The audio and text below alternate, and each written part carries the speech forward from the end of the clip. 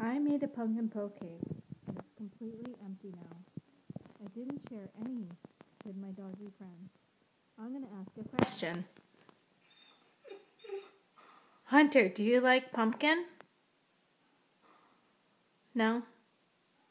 Hunter, do you like pumpkin beer?